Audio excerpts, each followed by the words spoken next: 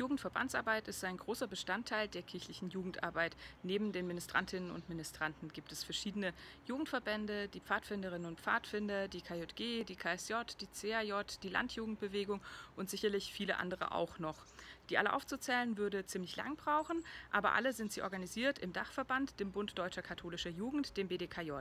Das Ziel der Jugendverbände ist, Kirche auf demokratische Art und Weise mitzugestalten. Das heißt, über Wahlen Leitungen zu wählen, über ähm, wenig hierarchische Strukturen auch Jugendarbeit und Kirche zu gestalten.